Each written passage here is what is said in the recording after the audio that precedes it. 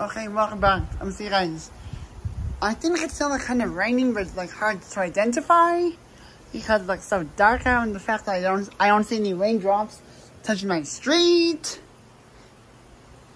But anyway, still in New Year's Eve though. Um, above my uploaded some like so much today, making up for like missed uploads. Whilst I was just trying to get better, but but anyways, enjoy.